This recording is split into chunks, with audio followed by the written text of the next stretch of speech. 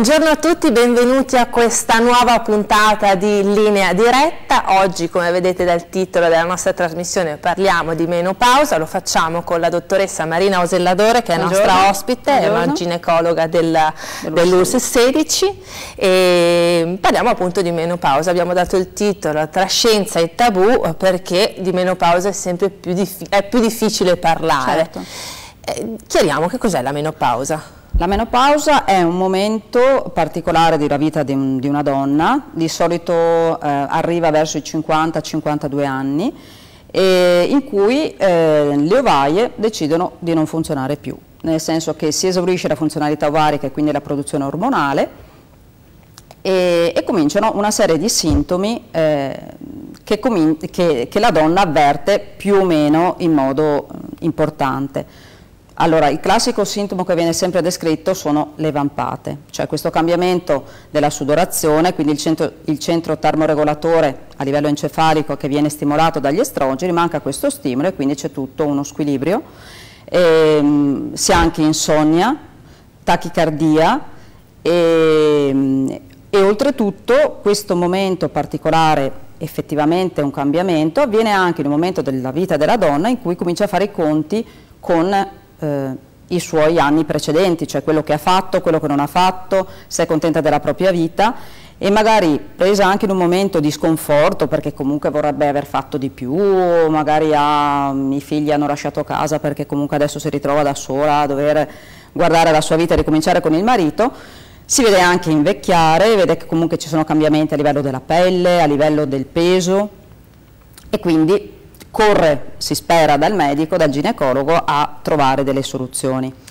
Ecco, eh, quindi la menopausa è un cambiamento che è arriva cambiamento. per tutte, chi prima, chi dopo. Eh, esatto. Ci sono dei sintomi che si possono eh, interpretare, che però eh, giustamente bisogna andare dal ginecologo per certo. farsi aiutare, magari anche con delle analisi del sangue per capire che cosa sta avvenendo. Certo. E, e, ma le donne padovane, per esempio, cioè, com'è l'approccio a questo allora, Dove possono venire? Perché chiaramente siamo a Padova adesso. Esatto, allora noi fortunatamente a Padova abbiamo un sacco di servizi, nel senso che da noi funzionano benissimo i consultori familiari, che in realtà molte pensano che il consultorio familiare serva solo, so, all'adolescente, alla gravida, quindi sì, sicuramente, però è un servizio sociosanitario che comunque guarda al sociale, alla famiglia e nella famiglia ovviamente segue il percorso della donna dall'inizio alla fine, quindi anche per, la, per quanto riguarda la menopausa.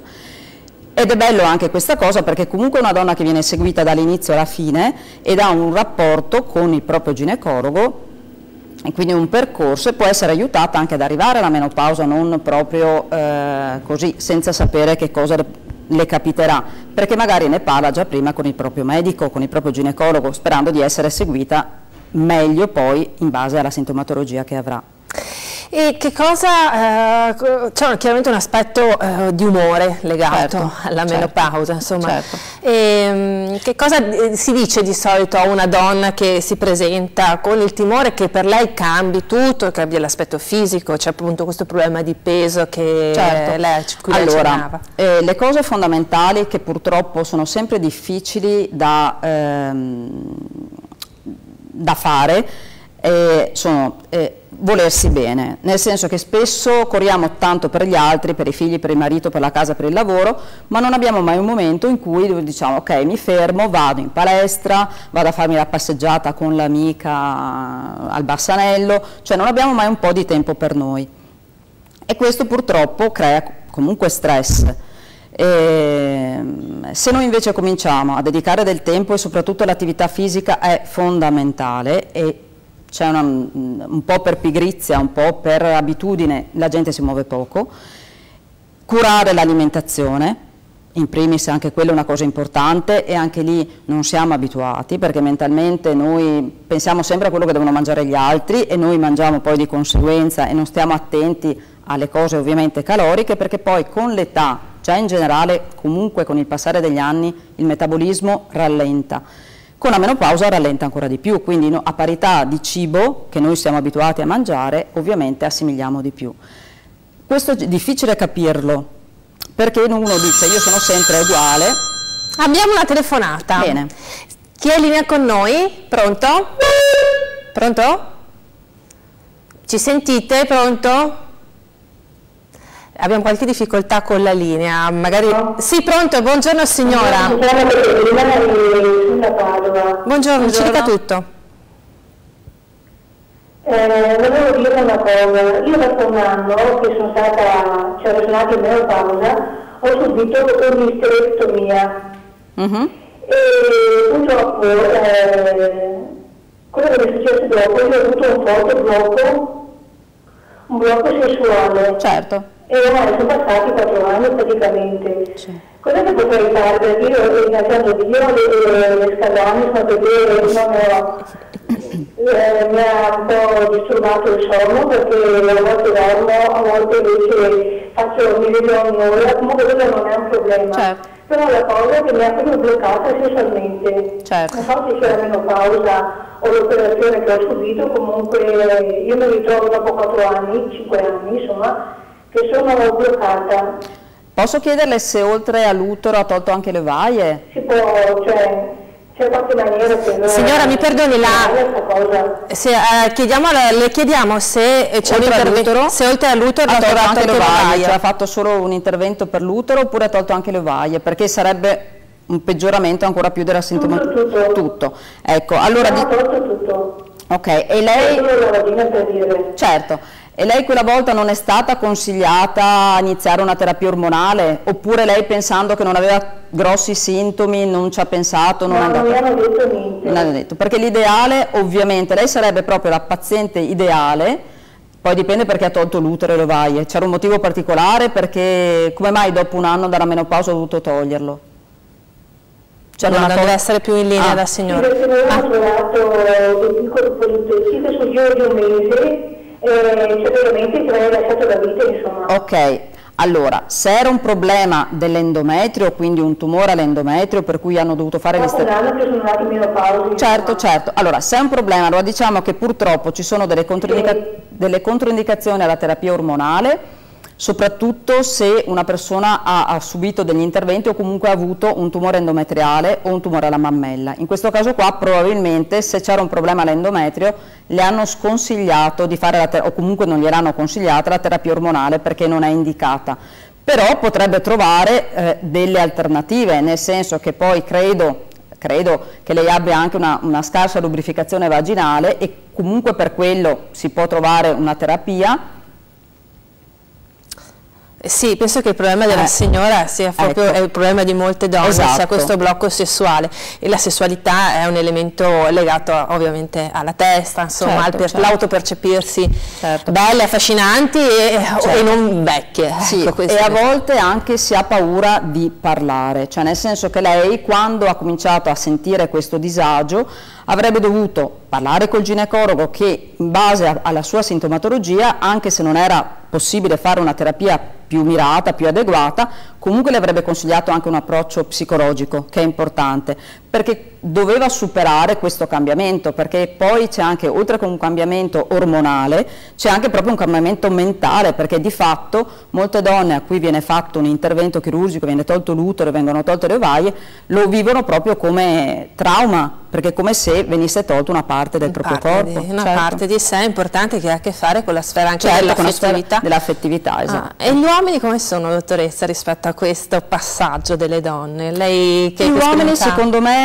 eh, allora già la donna non è preparata ovviamente, l'uomo ancora meno, perché l'uomo in realtà non vivendo questo cambiamento ormonale si ritrova una donna completamente diversa a volte, non è detto, però a volte effettivamente sia per quanto riguarda l'umore sia per quanto riguarda proprio la sessualità, eh, anche perché la carenza ormonale porta ad un calo del desiderio sessuale e, e, magari il marito non capisce perché non ci sia più questo desiderio della moglie verso di lui e quindi lo prende come una cosa, una mancanza di affetto, quindi si scatenano anche una serie di problemi tra la coppia e la donna anziché trovare un aiuto nel compagno magari trova comunque un ostacolo, un ostacolo e, e, quindi oltre a dover pensare a se stessa deve pensare anche come gestire il partner. E anche lì è difficile perché il partner dal ginecologo non ci va, il, non, non, ha un grosso... Eh, Probabilmente anche, no, anche, noi donne facciamo fatica magari ad affrontare questo problema magari di, certe, certi temi siamo abituati a non condividerli con il compagno, certo, insomma, certo. mentre la gravidanza è un momento di estrema gioia perché nonostante porti di grandi cambiamenti ormonali, eh, certo. eh, porta un'estrema gioia perché porta una nuova vita, la menopausa si tiene nascosta come una cosa che riguarda semplicemente la vita delle donne, cosa che magari con un partner si può condividere. Certo. Però io vorrei anche, se le signore mi sentono a casa, mh, convincere e cercare di stimolare le signore, le pazienti ad andare dal ginecologo, nel senso che spesso si tende a vedere il ginecologo magari all'inizio, alla pubertà, quando ci sono delle regolarità mestruali, che si vuole capire perché le mestruazioni non vengono regolari e cosa sta succedendo. Con la gravidanza, perché ovviamente il fatto della gravidanza porta necessariamente ad andare al ginecologo, poi stop. Tante persone fanno un controllo anche a 10 anni dal parto e che quindi troppo. arrivano, è troppo, perché comunque non crei un rapporto con il medico, e, e, anche rimani fuori da certe problematiche che invece in, in, alcuni casi puoi anche arrivarci un pochino alla volta certo. e, e, tante donne secondo me hanno veramente bisogno di parlare perché la menopausa è un punto di arrivo o di partenza ma ci sono tante sfaccettature nella vita di una donna che comunque eh, a, qualcuno, a qualcuno le deve dire poi l'amica, vabbè, ma l'amica ti risponde comunque come ti può rispondere un'amica che ha più o meno la tua stessa sintomatologia. Età, esperienza, esatto. Certo. Ah. E, e, invece se nei consultori o nei poliambulatori tu hai la possibilità di parlare comunque con delle persone che ti danno anche un aiuto che credo che sia più che medico, eh, soprattutto psicologico, perché alla fine anche noi che siamo ginecologi, che teoricamente di psicologia non è che non è il nostro campo, però tante volte chiedere a una persona che entra nell'ambulatorio e chiedere come va, come ti senti, ti guardano come dire, oddio, perché mi ha chiesto questa cosa, però apri una porta e loro ti dicono tutte quelle cose che magari non avrebbero detto um, 5 minuti prima perché non pensavano che qualcuno interessasse. Che qualcuno interessasse, esatto. Ed è molto bella questa cosa, però la, le, le, persone si devono fidare, cioè devono accedere a questi servizi che ci sono. Fortunatamente a Padova abbiamo la possibilità di avere tanti, perché in tutto il territorio c'è una distribuzione capillare sicuramente dei consultori e dei poliambulatori. Certo. E tanta gente va, perché Padova è sempre stata molto sensibile a questa cosa, perché dall'origine dei consultori negli anni 70 c'è sempre stato un buon ehm, approccio mm. con la struttura, però spesso secondo me la gente è diffida un po' del pubblico perché pensa di essere trattata male, pensa che non ci siano comunque persone disponibili, invece non è vero quindi ehm, vorrei Sicur dare anche questo messaggio. No, sicuramente il messaggio de della, della, sanità pubblica veneta, che è sempre stata all'avanguardia, sempre sarà soprattutto su questi temi, va dato, certo. cioè, perché il medico è una figura molto importante, ma il medico non è semplicemente quello che cura l'influenza raffreddore, soprattutto il ginecologo può essere anche un po' psicologo, insomma, certo. da questo punto di vista, certo. e poi non è detto, non è escluso che si possa accedere appunto anche alla figura dello psicologo all'interno certo, del, certo, dell'ULSA, ah. all'interno del consultorio è prevista proprio proprio la figura dello psicologo per riuscire a risolvere delle, le varie problematiche che certo. possono esserci appunto nell'ambito Quali sono, dottoressa, i cambiamenti che spaventano una donna eh, con la menopausa? Ma parlavamo prima del peso, ci sono altre cose? Ah no, i cambiamenti sono soprattutto questi, quelli cambiamenti di umore, perché le vampate poi bene o male, sì a parte l'inizio che uno può cominciare ad avvertirle, però sono una cosa abbastanza che passa in secondo piano, e, um, I dolori articolari che non sono mai considerati una tanto male, cioè alle articolazioni, ma non pensa che sia un problema legato alla menopausa, poi lo scopre quando casualmente te lo dice e dice no guarda che anche questo fa parte del problema e, e soprattutto secondo me la parte, la parte sessuale, tra le ah. cose mh, proprio del, mh, iniziali. Mm. Poi tutto quello che è problema cardiovascolare, che ovviamente si manifesta un po' di anni dopo l'inizio della menopausa, e il problema osteoporosi, che non è una cosa da poco. Tante persone hanno, soffrono di osteoporosi, eh, anche lì, siccome è una patologia che uno ehm, colloca in un'età più avanti, tipo i 70 anni, 70 anni, 80 anni, a 50 anni non ci pensa, però queste donne possono avere la mamma, la zia, qualcuno in famiglia che ha avuto problemi di osteoporosi e non pensano a dirlo, allora a questo punto è il medico che deve indagare eh, e cercare di farsi dire che cosa, un po' la storia che ci può essere nella famiglia per capire poi come intervenire, perché a volte magari una donna che non ha sintomi non chiede la terapia sostitutiva, ma magari è opportuno dargliela proprio per prevenire certe patologie che si manifesteranno magari dopo 20 anni, ma 20 anni, fra, dopo 20 anni non si può fare niente. Qual è il range d'età mm, della premenopausa e della menopausa e, e, cosa vuol dire essere menopausa? Cioè quando è che si è in menopausa? Menopausa quando la mestruazione bene o male non arriva più da un anno, però il periodo che è il climaterio inizia più o meno 4-5 anni prima e i segnali sono l'irregolarità mestruali, quindi la mestruazione che può essere eh, una mestruazione che arriva ogni due mesi oppure una mestruazione che dura un mese o una mestruazione che mm, magari arriva dopo 15 giorni, quindi comunque un'irregolarità. E, mm, e, anche cambiamenti proprio, eh, comincia ad avere sì un cambiamento anche del, della termoregolazione, mm, questo può essere anche una cosa positiva, nel senso che persone che soffrivano tantissimo il freddo cominciano a star bene anche eh, lo stesso a temperature più fredde ma vestite in modo normale, quindi capisce che c'è qualcosa che sta cambiando e, e forse sì, sicuramente l'umore perché di fatto a livello cerebrale certo. c'è un effetto anche a quello. La cura ormonale, lei diceva prima alle pazienti che hanno avuto problemi all'apparato mm, riproduttivo, insomma queste magari quelle sono, o certo. è più difficile pensare ad un approccio di tipo certo, ormonale. Sì. Altre pazienti che possono aver avuto mm, altre malattie importanti, certo. che si sono state sottoposte alla chemioterapia. Certo. Ecco. Allora, a parte queste patologie appunto che abbiamo detto, eh, tipo tumore alla mammella, tumore all'endometrio. Per esempio, eh, facciamo l'esempio di una ragazza giovanissima che per eh, una leucemia è stata sottoposta a chemioterapia e quindi purtroppo l'ovaio ha avuto dei problemi, quindi non funziona più. È come se fosse stata creata una menopausa precoce.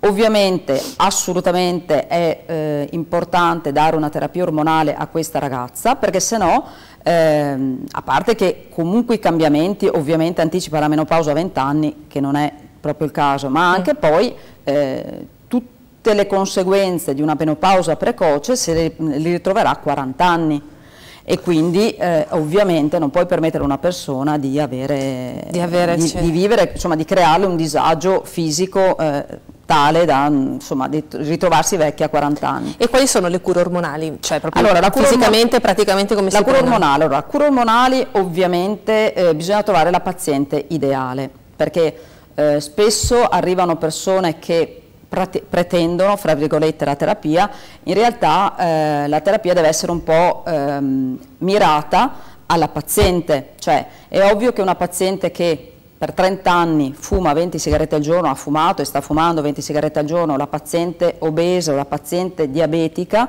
o la paziente ipertesa purtroppo eh, non è una candidata ideale per la terapia ormonale, quindi anche lì bisogna avere approcci eh, diciamo locali, settoriali, nel senso che va benissimo il discorso della secchezza vaginale, quindi intervenire con creme a livello vaginale, però purtroppo la terapia sistemica in una persona già sovrappeso, eh, prima bisogna pensare a farla dimagrire, quindi a certo. creare una, un equilibrio a livello fisico e poi eventualmente si interviene con la terapia, a maggior ragione con eh, la forte fumatrice.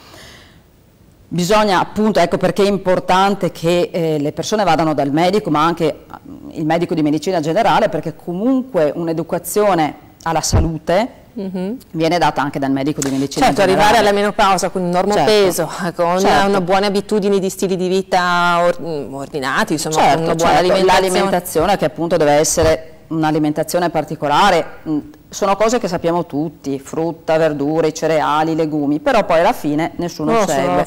Esatto. Però quando tu ti ritrovi a 50 anni con una serie di sintomi, vuoi che ti risolvano il problema. Però il problema avresti dovuto già risolvere un, po', un pochino tu prima. Non puoi arrivare... Sì, c'è l'abitudine pre certo. della prevenzione del, del, pensare prima, che certo. ci si sta lentamente avvicinando verso un momento Adesso difficile. è un po' anche quello che si vuole creare proprio in, eh, nei nostri ambulatori.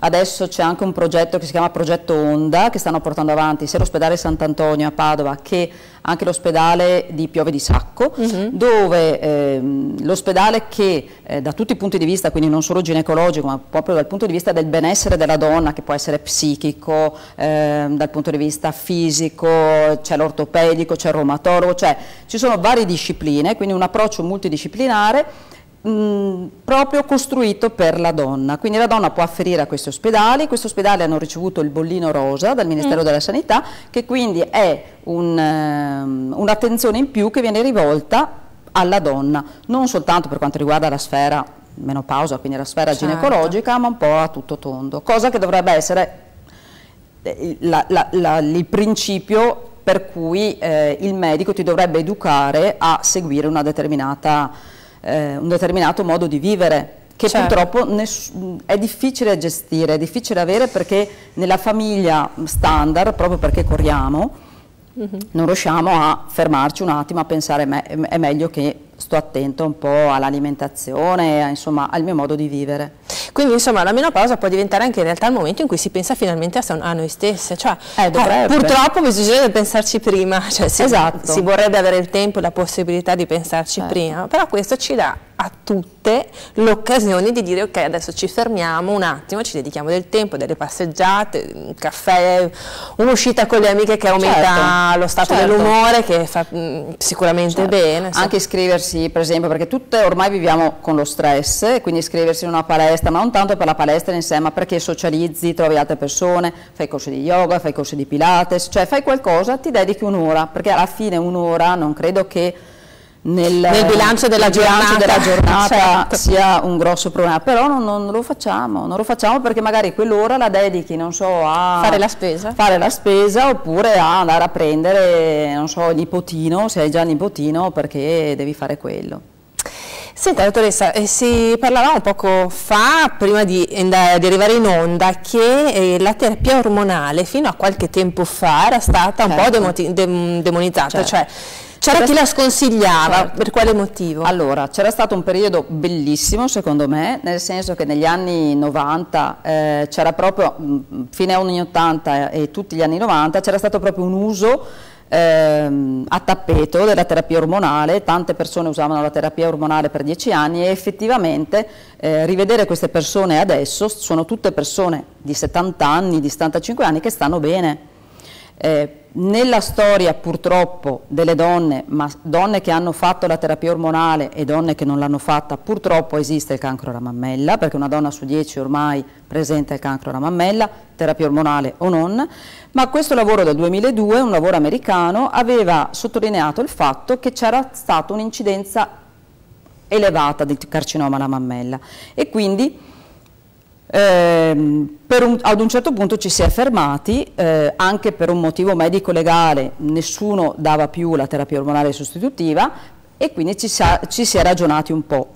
Poi quest'anno invece, o l'anno scorso, è uscito un, un nuovo lavoro eh, fatto da, in Europa, eh, che c'è sul British Medical Journal, dove è stata un po' riveduta tutto quel tipo di lavoro che era stato fatto dagli americani perché l'età media di queste donne che erano state controllate era un'età che era sui 63 anni, cioè una donna di 63 anni a cui viene data la terapia ormonale sostitutiva è già una donna a rischio, ma è a rischio perché magari ha già il diabete, perché sono 15 anni, 13 anni che è andata in menopausa, quindi ha già comunque iniziato i sintomi di una menopausa che sono l'ipertensione, che sono il diabete, che sono eh, problemi cardiocircolatori, ehm, anche potenzialmente è più a rischio di tumore alla mammella, perché mhm. -huh. comunque aumenta con l'età, e, e, quindi dare la terapia ormonale a questo tipo di persona ovviamente fa sì che eh, magari mi compare un tumore al seno in una donna che magari ce l'aveva già, quindi non è la terapia ormonale la causa, ma aver, è la terapia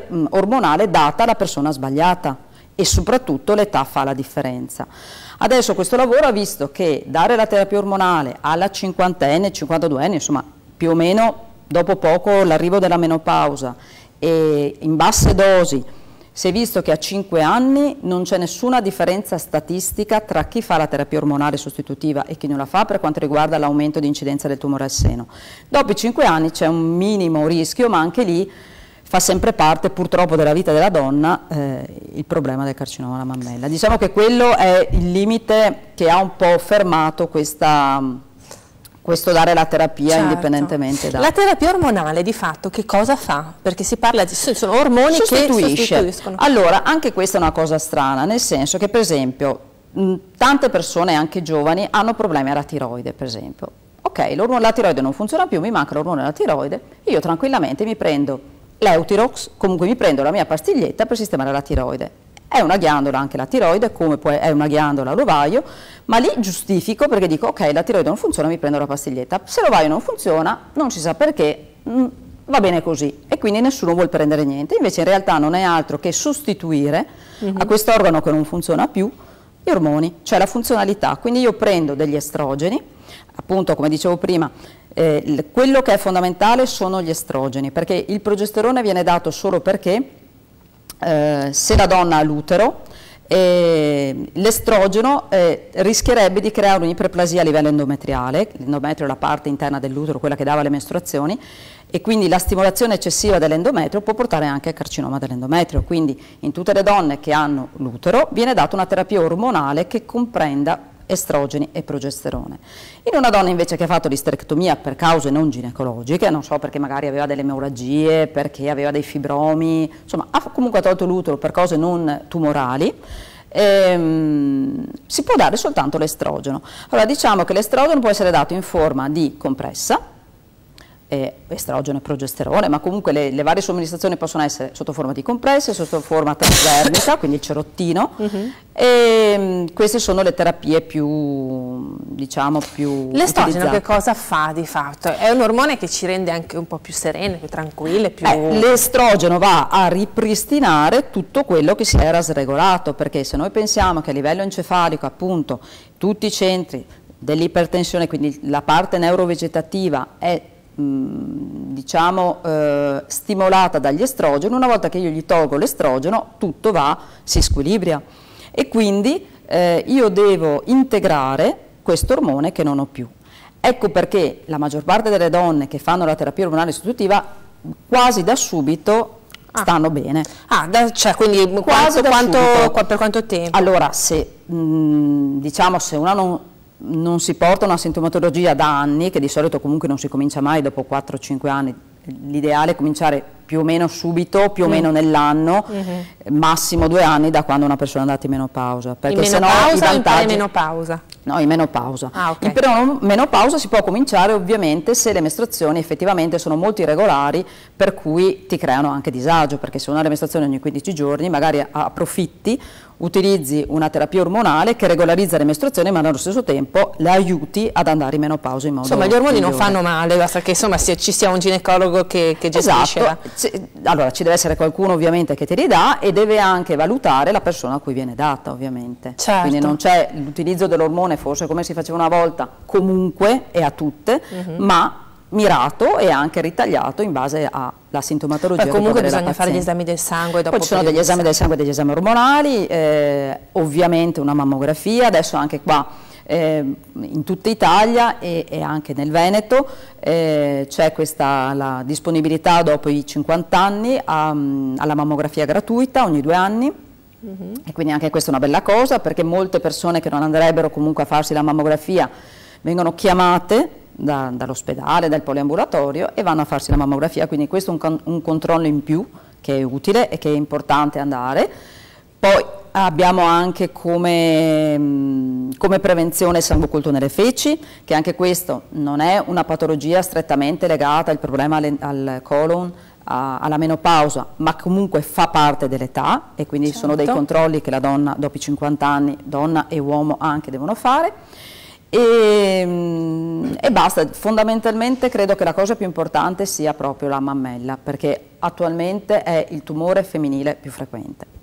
Ecco, eh, esulando dal tema della, della menopausa, eh, l'ecografia o la mammografia ogni quanto va fatta? Perché qua ci sono opinioni di, Allora, qua ci sono opinioni diverse nel senso che eh, tutti Oh, insomma, allora, è vero che eh, dal punto di vista dello screening eh, la, la, mammografia viene fatta ogni due anni, però in realtà eh, questo è stato fatto perché si è visto che comunque si riesce in due anni a cogliere dei cambiamenti a livello della mammella che comunque ehm, riducono molto la possibilità che, di trovare un carcinoma della mammella in stadio avanzato.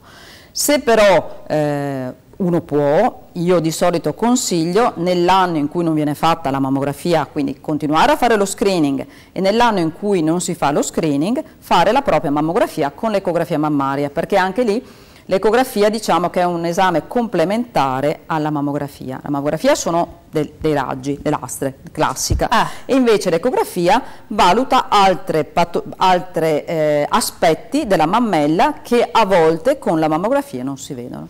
Insomma, la parola d'ordine qui è curarsi, prendersi curarsi, cura prevenzione, di sé, prevenzione, esatto, cioè prevenzione. trovare il tempo per andare dal medico, trovare il tempo per prenotare gli esami, certo. trovare il tempo per eh, ascoltarsi. Per ascoltarsi, ecco, anche questo per ascoltarsi e a volte trovare anche il tempo per, farsi ascoltare, cioè imparare anche a parlare un po' di più chiedere. e a, dire, a chiedere e a parlare e a dire anche quelle cose che magari normalmente non si dicono. Noi lo ricordiamo che all'ULS ci sono degli, certo, dei ginecologi molto bravi, come lei, come, come le sue colleghe, i suoi colleghi. No, che... E poi c'è un buon rapporto tra tutti noi, quindi comunque c'è un, uno scambio anche di, di, pareri, di idee tra l'ecografista, perché anche, bisogna ricordare che esiste anche l'ecografia transvaginale che viene fatta periodicamente nelle donne, ovviamente questo deve essere un esame mh, indicato dal ginecologo, uh -huh. se vede che è il momento in cui uno deve farlo, però c'è uno scambio di idee fra i vari medici e quindi la donna veramente è coccolata, quindi la parola d'ordine è coccolarsi e farsi coccolare anche dal ginecologo, perché no?